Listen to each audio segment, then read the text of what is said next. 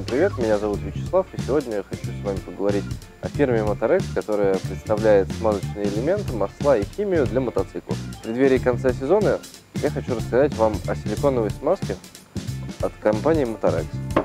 Данная силиконовая смазка используется при консервации для защиты резиновых уплотнений и шлангов. Данный баллон имеет два вида КЭП. Обычная и для распрыскивания в труднодоступных местах. Данный спрей является самым оптимальным средством для консервации вашего мотоцикла в период зимнего хранения. С вами был Вячеслав. Всем пока.